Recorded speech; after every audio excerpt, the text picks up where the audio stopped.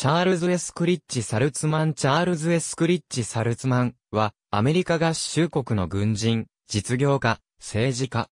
1947年から1949年まで、国務次官補。1954年に、国務次官。1903年9月19日に、フィリピンのサンボアンガにて誕生。父親は、アメリカ陸軍通信軍団隊員を務めていた、チャールズ・マッキンリー・サルツマンであり、レオナード・ウッド少将の参謀であった。母親は、メアリー・エスクリッチであった。父親の軍歴のため、サルツマンは、幼少時代を世界各地、フィリピン、ワシントン DC、ニューヨーク、パナマで過ごし育った。サルツマンは、ニューヨークの高校を卒業し、コーネル大学で1年を過ごした後、陸軍士官学校に入学、1925年に卒業。続いて、ローズ小学生として、オックスフォード大学モードリン校に進学、1928年に学士号を取得。大学卒業後、サルツマンはアメリカ陸軍にてフォートベルベア勤務となり、戦闘工兵中隊にて注意を務めた。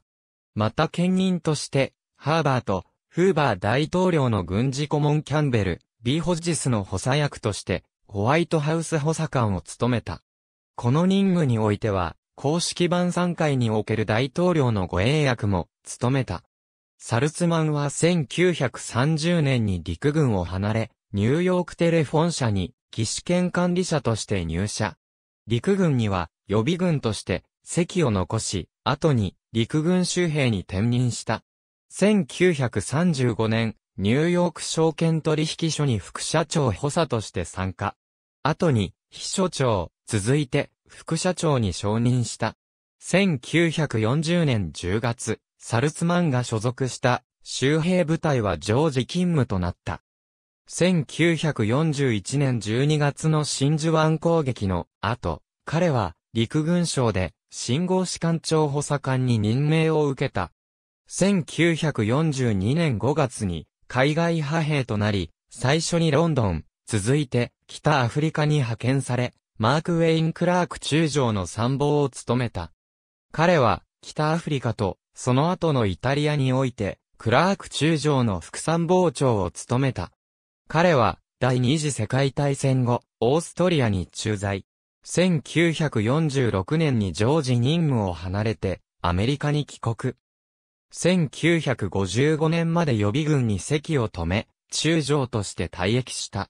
アメリカに帰国後、間もなく、ニューヨーク証券取引所に復帰。1947年、ハリー・トルーマン大統領は、サルツマンを国務次官に任命。ジョージ・マーシャル国務長官の下で1949年まで在任した。サルツマンは1949年に国務省を離れ、ヘンリー・シアーズが経営する投資会社に参加。1952年の大統領選挙の際には、サルツマンは、シアーズの議系路地上院議員と協力し、共和党候補、アイゼンハワーの資金調達を行った。